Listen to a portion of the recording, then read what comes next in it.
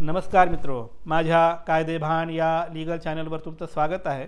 तर आजच्या व्हिडिओचा विषय आहे की कुळ कायद्याची जेव्हा आपण केस चालवतो तेव्हा कुळाने खंड भरला किंवा नाही भरला या संदर्भाने जे दावे येतात त्या संदर्भाने आपण आजचा व्हिडिओ बघूया. तर मी बरेचदा असं पाहिलं आहे की कुळ कायद्याची केस चालवताना बरेचदा जमीन मालक अशा पद्धतीने केस दाखल करतो किंवा या ग्राउंडवर दाखल करतो की कुळ यांनी खंड भरला नाही. त्यामुळे कुळाचा कूळ रद्द करावा आणि जमीन मूळ मालकाला रिस्टोअर करावी अशा संदर्भाच्या केसेस दाखल होतात. मुळात कुळाने खंड भरलं नाही. या ग्राउंडवर कुळाला बेदखल करण्याची जी काही प्रक्रिया आहे ती करण्यासाठी काय कायदेशीर तरतुदी लागतात आणि कुठल्या गोष्टी नसेल तर अशा पद्धतीचे आरोप कुळाच्या विरोधात टिकू शकत नाही हे आपण बघूया. मुळात कुळ कायदा समजून घेताना बेसिक गोष्ट समजून घ्यायची असते ती काय? कृषक दिन. कृषक दिन कधीचा आहे? एक एप्रिल एकोणीसशे सत्तावन्न. एक एप्रिल एकोणीसशे सत्तावन्न या दिवशी समजा एखाद्या माणसाचा एखाद्या सातबारावर कूड म्हणून नाव लागलेलं असेल तर तो त्या दिवशी कृषक दिनी डीम परचेदर झाला. म्हणजे काय झाला? मानव खरेदीदार झाला. म्हणजे काय झाला? ऑटोमॅटिक मालक झाला असा त्याचा अर्थ होतो. आता जर एक एप्रिल एकोणीसशे सत्तावन्न रोजी कूळ म्हणून तुमचे वडील तुमचे आजोबा किंवा तुमचे पणजोबा कृषक दिनीच म्हणजे एकोणीसशे सत्तावन्नला जर ऑटोमॅटिक मालक झाले असेल तर सत्तावन्न नंतरचा कूळ म्हणून खंड भरणे तुम्हावर तुमच्या वडिलावर किंवा तुमच्या आजोबावर बंधनकारक नव्हते. ही पहिली गोष्ट. म्हणजे एकोणीसशे सत्तावन्न नंतरचा खंड भरला नाही म्हणून जर तुमच्या विरोधात दावा असेल तर तुम्ही तो दावा डोळे मिटून जिंकू शकता. का? कारण तुम्ही ऑलरेडी मानवी खरेदीदार झाले होते. त्याच्यामुळे कृषक दिनानंतरचा खंड तुम्ही नसेल जरी भरला किंवा तुमच्याकडून भरण्यात आलेला नसेल तरी घाबरायचं कारण नाही. केस तुमच्या बाजूने आहे.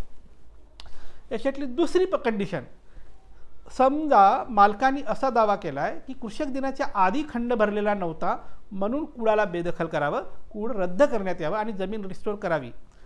अशा पद्धती जर केस तुमच्या विरोधात लागलेली असेल तर काय मग आता? तर इथे एक साधं सूत्र आहे.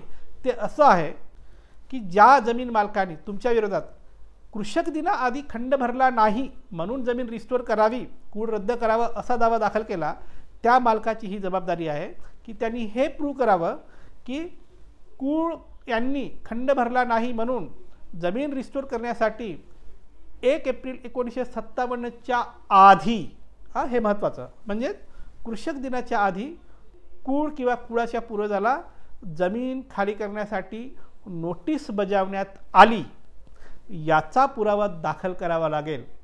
हा जर पुरावा जमीन मालकाकडे असेल तरच कुळाचा कूळपणा बेदखल होतो किंवा कुळाला बेदखल करता येऊ शकतो. कुळाला कुळाचा मालकी रद्दा करता रद्द करता येऊ शकतो.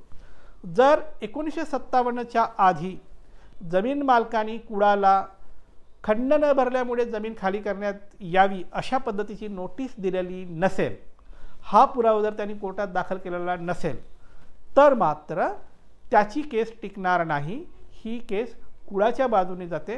कुळाचा कुळ म्हणून जो काही मालकी हक्क निर्माण झाला आहे तो अबाधित राहतो. अशी कायदेशीर तरतूद आहे. तर मित्र तुमच्या विरोधात जर तुम्ही कुळ आहे आणि तुमच्या विरोधात जर जमीन मालकांनी केस दाखल केली असेल आणि त्याचा ग्राउंड जर खंड भरला नसेल असं असेल तर तुम्ही आधी तपासा कुठल्या काळातील खंडाबद्दल दावा आहे? कृषक दिनानंतरच्या काळाबद्दल जर दावा असेल तर एनिवे तुम्ही डीम परचेजर आहात मालक बनला आहात तुम्हाला खंड भरणे जरुरी नाही कृषक दिनानंतरचा. पण जर दावा आधीचा असेल तर नोटीस बजावण्यात आली होती का तुमच्या पूर्वजांना? ते बघा. नोटीस बजावण्यात आली असेल तर केस जमीन मालकाच्या बाजूने जाईल. नोटीस बजावण्यात आलेली नसेल तर केस कुळाच्या बाजूने जाईल. ही आहे कायदेशीर तरतूद. तर मित्र तुमच्यासाठी असंच मी कायद्याच्या संबंधित वेगवेगळे व्हिडिओ आणत राहीन. कायद्याचं ज्ञान वाढवण्यासाठी माझं लिगल चॅनल कायदे भान पाहत राहा. आणि हो ज्यांना कायदेशीर सल्ला हवा आहे ते मला संपर्क करू शकतात. माझा नंबर तुमच्या स्क्रीनवर दिसतोय. पण थेट फोन करायचा नाही अजिबात फोन करायचा नाही. ज्यांना खरोखरच कायदेशीर सल्ला हवा आहे ते त्यांचं नाव गाव जिल्हा आणि केसची संक्षिप्त माहिती लिहून व्हॉट्सॲपवर टाका. तुमच्या केसमध्ये मेरिट असेल तर तुम्हाला आम्ही संपर्क करू आणि कायदेशीर सल्ला देऊ. Bye.